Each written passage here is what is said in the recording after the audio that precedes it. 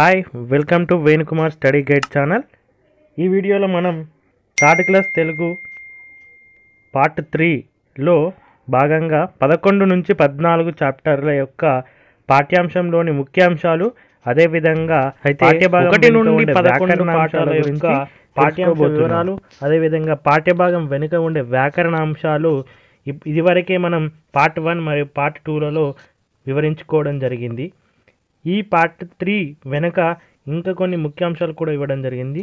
ఈ వీడియోను పూర్తిగా చూస్తూ లెట్ స్టార్ట్ పార్ట్ త్రీ ఇక థర్డ్ పార్ట్ విషయానికి వస్తే ఈ థర్డ్ పార్ట్లో పదకొండు నుండి పద్నాలుగు చాప్టర్ల వరకు తెలుసుకుందాం. అయితే మొదటిగా పదకొండో లెసన్ తెలంగాణ రాష్ట్ర చిహ్నాలు. ఇందులో చాలా ఇంపార్టెంట్ అంశాలు ఉన్నాయండి. జాగ్రత్తగా పరిశీలించండి. అయితే తెలంగాణ రాష్ట్రం అనేది ఊరికే రాలేదు. ఎన్నో ఎంతోమంది త్యాగదనుల ఫలితంగా మనకు తెలంగాణ రా- రాష్ట్రం అనేది అవతరించింది. మనకు తెలంగాణ రాష్ట్రం ఆంధ్రప్రదేశ్ నుండి జూన్ రెండు రెండు వేల పద్నాలుగున భారతదేశంలోనే ఇరవై తొమ్మిదవ రాష్ట్రంగా అవతరించింది. మన తెలంగాణ రాష్ట్రానికి తొలి ముఖ్యమంత్రిగా శ్రీ కల్వకుంట్ల చంద్రశేఖరరావు గారు మనకు ఎంపికయ్యారు. అయితే ఆయన తెలంగాణ చరిత్ర సంస్కృతి సాంప్రదాయాలు ప్రతిబింబించే విధంగా తెలంగాణ రాష్ట్రానికి అధికారిక చిహ్నాలను ఎంచుకున్నారు. అందులో మన రాష్ట్ర జంతువుగా జింక రాష్ట్ర పక్షిగా పాలపిట్ట రాష్ట్ర వృక్షంగా జమ్మి చెట్టు దీన్నే షమీ వృక్షం అని కూడా అంటారు. అయితే రాష్ట్ర పుష్పంగా తంగేడు పువ్వును ఎంపిక చేశారు. అయితే ఒక్కొక్క దానికి ఒక్కొక్క ప్రత్యేకత ఉంటుంది. అందులో తెలంగాణ రాష్ట్ర జంతువుగా ఉన్నటువంటి జింక యొక్క ప్రత్యేకతను మనం ఇప్పుడు చూద్దాం. ఇది తెలంగాణ ప్రజల బోలాతనానికి ప్రేమకు గుర్తుగా అదేవిధంగా అడవుల్లో నివసించే జింకలు అంతరించిపోతున్న సందర్భంగా పర్యావరణాన్ని దృష్టిలో ఉంచుకొని ఉంచుకొని మనకి జింకను మన రాష్ట్ర జంతువుగా ఎంపిక చేయడం జరిగింది. తర్వాత మన రాష్ట్ర పక్షి అయినటువంటి పాలపిట్ట తెలంగాణ సంస్కృతిలో భాగం. ఎందుకంటే దసరా పండుగ రోజు తెలంగాణ ప్రజలు ఊరి పెలిమేర దాటి వెళ్ళడం ఒక ఆనవాయితీ. అది అలా వెళ్ళినప్పుడు ఆకాశంలో స్వేచ్ఛగా తిరిగే పాలపిట్టను చూ చూడడం ఒక శుభసూచకంగా భావిస్తారు. ఈ పాలపిట్ట దర్శనం చేసుకుంటే పాపాలు తొలగిపోతాయని ఒక నమ్మకం. స్వేచ్ఛకు చిహ్నంగా పాలపిట్టను మన రాష్ట్ర పక్షిగా ఎంపిక చేశారు. అదేవిధంగా మన రాష్ట్ర వృక్షం వచ్చేసి జమ్మి చెట్టు. భారతంలో పాండవులు వనవాసం చేస్తున్న వేళ తమ ఆయుధాలను జమ్మి చెట్టు మీదనే దాచిపెట్టారని వాటి ద్వారానే వారికి విజయం సాధించిందని చెప్పుకుంటారు. దానికోసం మనం మన రాష్ట్ర వృక్షాన్ని జమ్మి చెట్టుగా ఎంపిక చేసుకోవడం జరిగింది. తెలంగాణలోనే అతిపెద్ద పండుగ దసరా పండుగ. ఆ రోజు పాలపిట్టను చూడడానికి మనం ఊరిని దాటి వెళ్ళి ప్రజలు జమ్మి చెట్టును పూజించి దాన్ని తీసుకొని మిత్రులకిచ్చి అలాయ్ బలాయి తీసుకుంటారు. తెలంగాణలో జమ్మి ఆకు అంటే బంగారం బంగారం అని కూడా పిలుస్తారు. చిన్నవాళ్ళు పెద్దవాళ్ళు బంగారం ఇచ్చిపుచ్చుకొని కాళ్ళు మొక్కి దీవెనలు తీసుకుంటారు. జమ్మి చెట్టు అనేది విజయానికి గుర్తు. కాబట్టి తెలంగాణ రాష్ట్రానికి ఈ వృక్షాన్ని రాష్ట్ర వృక్షంగా ఎంపిక చేయడం జరిగింది. నెక్స్ట్ బతుకమ్మ పాటలు చాలా చూస్తాను. ఇక్కడ చిన్నగా ఒక రెండు లైన్లు ఇవ్వడం జరిగింది. బతుకమ్మ సిగలో ఉన్న తంగేడు పువ్వు బతుకంత బంగారమై నవ్వు. బతుకమ్మ బంగ బతుకమ్మకు బంగారం రంగుల్ని అద్దేదే తంగేడు పువ్వు. తాంబాలంలో తంగేడు పువ్వు లేనిదే బతుకమ్మ తయారు కాదు. స్త్రీలకు తంగేడు పూలతో సింగారించిన బతుకమ్మ పండుగే పెద్ద ప- పెద్ద పండుగ. భారతదేశంలోని ఇతర ప్రాంతాలలో ఇట్లా పూలతోనే పండుగ చేసుకునే సందర్భాలు చాలా తక్కువ. తంగేడు పువ్వులకు ఔషధ గుణాలు కూడా ఉన్నాయి. పసుపు వర్ణపు తంగేడు పువ్వు తెలంగాణ రాష్ట్ర సిగలో పుష్పమై అలంకరించబడింది. తెలంగాణకి రాష్ట్ర చిహ్నమైంది.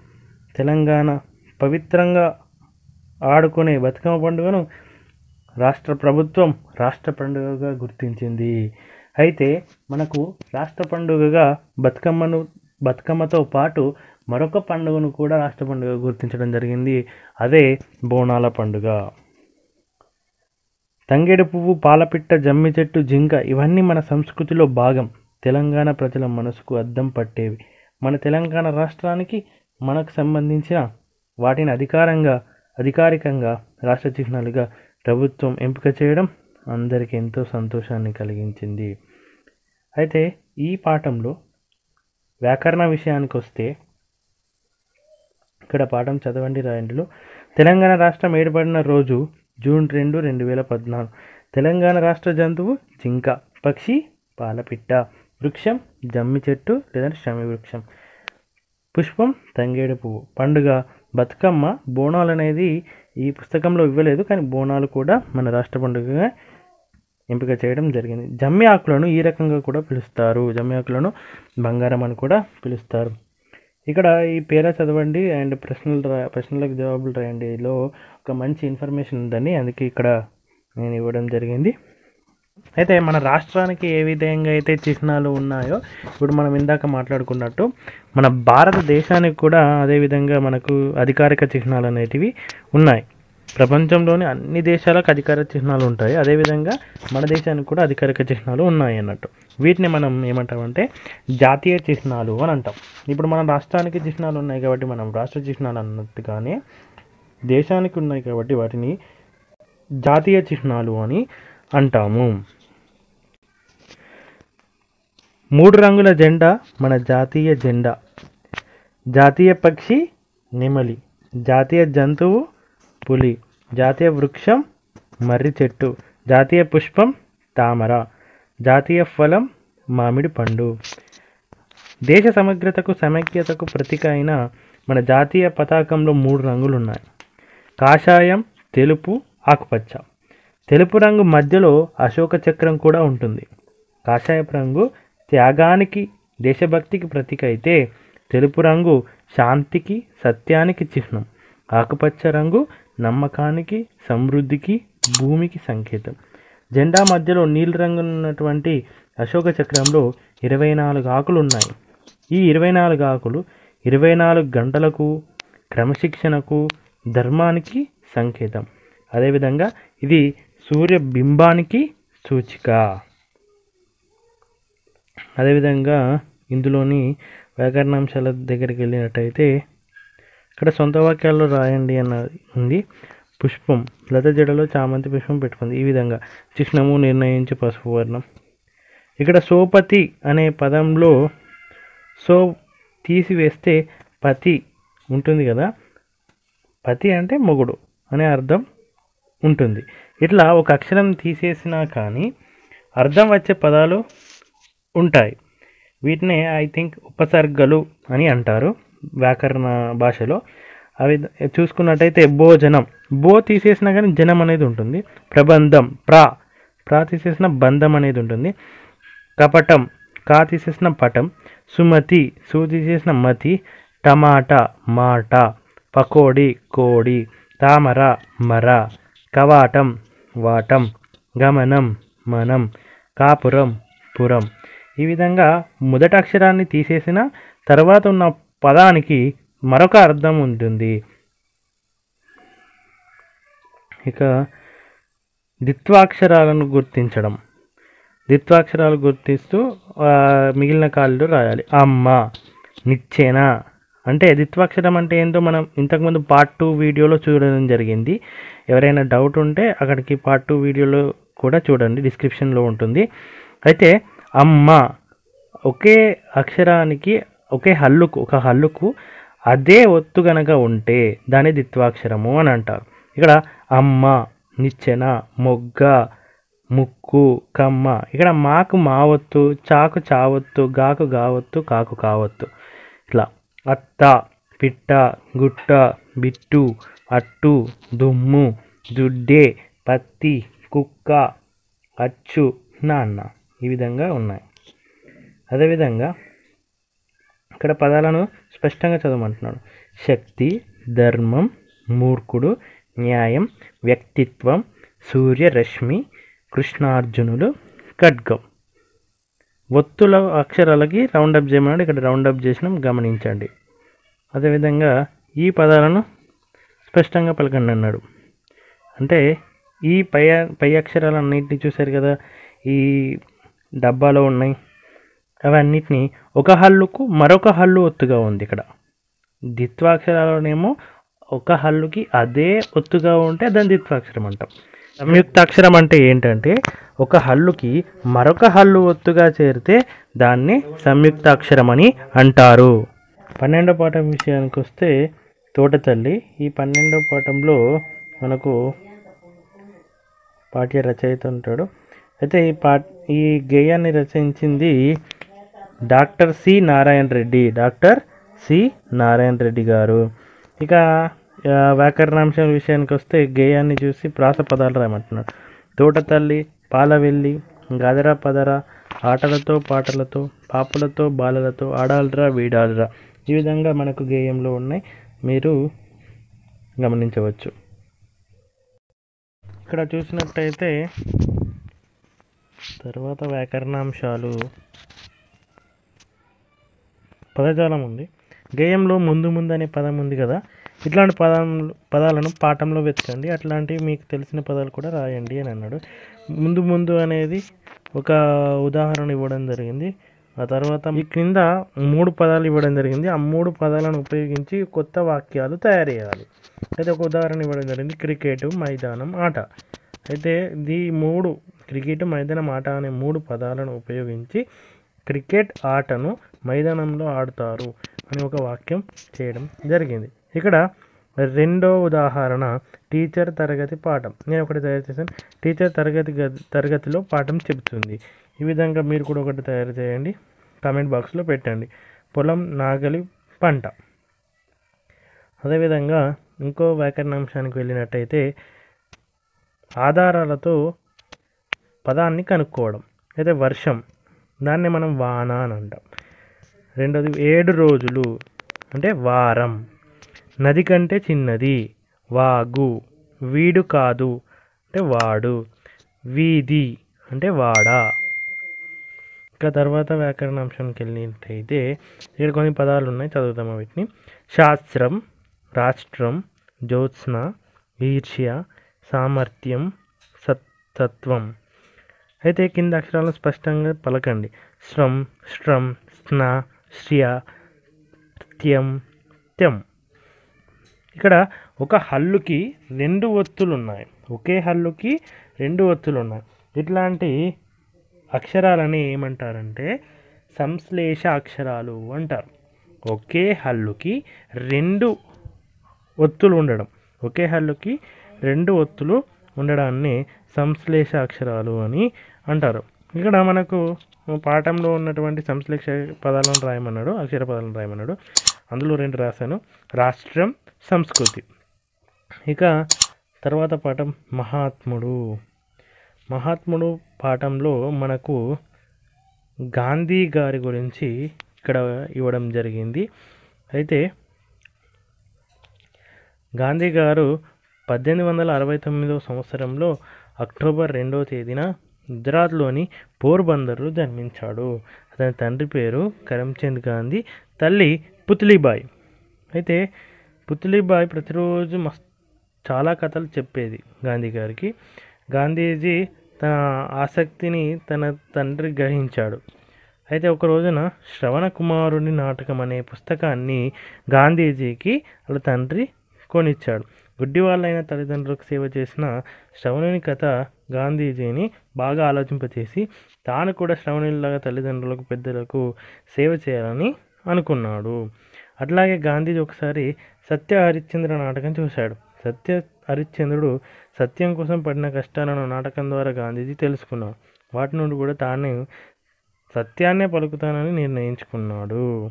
ఈ విధంగా జీవితంలో క్రమశిక్షణ సత్యం అహింస మొదలైన మార్గాలను ఆయన అనుసరించాడు. ఇక ఇట్లాగే శబరిమల ఆశ్రమంలో అన్నం తినే చోట బోర్డు మీద ఆశ్రమం ఆస్తి అందరి అందరిది. ఇది ఈ దేశంలో చాలా బీద వాళ్ళ ఆస్తిగా భావించాలని నేను ఆశిస్తున్నానని రాయించాడు. అతను ఏదైనా వ్యర్థం చేస్తే తనకి నచ్చదు. కాబట్టి ఈ విధంగా తన శబరిమతి ఆశ్రమంలో రాయించాడు. అవసరానికి మించి ఉప్పైనా సరే వడ్డించుకోవద్దు. నీరు కూడా వృధా చేయకూడదు అని రాయించాడు. గాంధీజీ జీవితంలో తాను నమ్మిన విషయాలను ఆచరించేవాడు. ఏదైనా తాను ఆచరించిన తర్వాతనే ఇతరులకు చెప్పేవాడు. గాంధీజీ తన బట్టలు తానే ఉతుక్కోవడం తన బట్టలకు కావాల్సిన నూలు తానే వడికే వడుక్కోవడం ఇట్లా ఉండేవాడు. గాంధీజీ గారి భార్య పేరు కస్తూర్బా కస్తూర్బాయి. ఇక వ్యాకరణాంశాల విషయానికి వెళ్తే ఇక్కడ తప్పులు ఉన్నాయి అవే కాకుండా సొంత వాక్యాలు ఉన్నాయి. ఇక్కడ పదజాలం ఉందండి. అయితే గాంధీజీ అహింసా మార్గంలో నడిచి స్వతంత్రాన్ని సాధించాడు. ఇక్కడ అహింస కింద అండర్లైన్ ఉంది. దాని యొక్క అర్థాన్ని మనం కింద ఎంచుకోవాలి మూడు ఆప్షన్స్లో. అయితే అహింస అంటే హింస లేని అని అర్థం. తాగే నీటిని వృధా చేయకూడదు. అందులో ఆప్షన్ ఏంటంటే అనవసరంగా వాడటం. వృధా అంటే ఏంటి అంటే అనవసరంగా వాడటం. భారతదేశానికి పేరు తెచ్చిన వివేకానందుడు మహనీయుడు. అంటే మహనీయుడు అంటే ఎవరు ఉన్నట్టు గొప్పవాడు. ఇక్కడ కొన్ని వస్తువులు రాసే వస్తువుల పేరు రాయమన్నాడు. అయితే ఇక్కడ స్కెచ్ పెన్నులు అని ఇవ్వడం జరిగింది. మనం పెన్సిళ్ళు కలర్ పెన్నులు అదేవిధంగా చాక్ పీసులు బల్పం పెన్నులు అని అని కొన్ని రాసాము అయితే ఇక్కడ మనం ఇప్పటివరకు తెలుసుకున్నవి ద్విత్వాక్షరాలు సంయుక్తాక్షరాలు సంశ్లేషాక్షరాలు. అయితే ఒకసారి చాలా ఫాస్ట్గా చూద్దాం. ద్విత్వాక్షర సంయుక్తాక్షర సంశ్లేషాక్షరాలు అంటే డిఫరెన్స్ ఏంటంటే ద్విత్వాక్షరాలు అంటే ఒక హల్లుకి అదే హల్లు ఒత్తుగా ఉంటే దాన్ని ద్విత్వాక్షరము అని అంటారు. సంయుక్తాక్షరం ఏంటంటే ఒక హల్లుకి మరొక హల్లు ఒత్తుగా ఉంటే దాన్ని సంయుక్తాక్షరము అని అంటారు. సంశ్లేషాక్షరం ఏంటంటే ఒక హల్లుకి ఒకటి కంటే ఎక్కువ అంటే రెండు రెండు హల్లులు ఒత్తుగా ఉన్నట్లయితే దానిని సంశ్లేష అక్షరాలు అని అంటారు. తర్వాత లాస్ట్ పాఠం పద్నాలుగు చెట్టు కోరిక. ఇది ఇందులో చెట్టు ఈ పాఠంలో ఏముండదండి? చెట్టు తన యొక్క కోరికలను చెప్పుకుంటుంది. ఇక్కడ వ్యాకరణాంశాల విషయానికి వచ్చినట్టయితే ఇక్కడ గీత గీసిన పదాలు తారుమారయ్యి ఉన్నాయి. వాటిని కరెక్ట్ చేసి మనం రాయాలి. ఇక్కడ లుక్షుప ఉంది పక్షులు అది. ఇక్కడ లీగా ఉంది గాలి. స్నేహితుడు మే మేఘాన్ని వాన మంట హమ్మయ్య. తర్వాత ఒక పదజాలం ఉందండి. ఇది గల్లు పూరించాలి. ఒకటి వెన్నెలనిచ్చే మామ చందమామ కారాన్నిచ్చే కాయ మిరప కొకరొక్కో అనేది కోడి అందరూ వేడుక వేడుకగా చేసుకునేది పండుగ వారానికి రోజులు ఏడు. అదేవిధంగా కింద కొన్ని గీత గీసిన పదాలు ఉన్నాయి చూడమంటున్నాడు. రాము బండి ఎక్కాడు. అట్లాంటి బండ్లు వరుసగా పోతున్నాయి. ఏకవచనం పదం బండి బహువచనం బండ్లుగా మారింది. చూస్తారు కదా? అదేవిధంగా బహువచనాలు రాయమంటున్నాడు. బడి బళ్ళు పండు పండ్లు కన్ను కండ్లు కీలు కీళ్ళు గుండు గుండ్లు కాలు కాళ్ళు రోలు రోళ్ళు గుడి గుళ్ళు పెన్సిల్ పెన్సిల్లు. ఇక ద్విత్వాక్షర సంయుక్త సంశ్లేషాక్షర పదాలను గుర్తించి వేరు చేయాలి. కర్మ. అది సంయుక్తాక్షరం. ఎద్దు ద్విత్వాక్షరం. సున్నం ద్విత్వ హస్తం సంయుక్తాక్షరం. కర్పూరం సంయుక్తాక్షరం. శ్రీ సంశ్లేషాక్షరం. ఈ విధంగా వేరు చేస్తూ రాయాలి. ఇంతటితో మనం థర్డ్ క్లాస్లోని అన్ని పాఠాల యొక్క పాఠ్యాంశ అంశాలతో పాటు వ్యాకరణాంశాలను పూర్తిగా తెలుసుకోవడం జరిగింది. ఈ అంశాలతో పాటు టెక్స్ట్ బుక్ చివర ఉన్న ఈ పదాలు అర్థాలు కూడా చదవండి.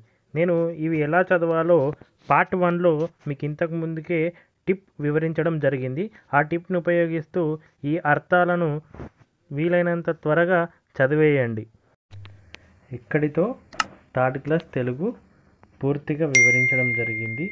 ఇందులో ప్రతి పాఠ్యాంశంలోని ముఖ్యాంశాలు అదేవిధంగా ప్రతి పాఠ్యాంశం వెనుక ఉండే వ్యాకరణ అంశాలు పూర్తిగా వివరించడం జరిగింది. ఈ మూడు వీడియోలు part one part two part three మీకు ఎంతగానో ఉపయోగపడతాయని ఆశిస్తూ for more updates please subscribe my channel. Thank you for watching. Venukumar study gate thank you.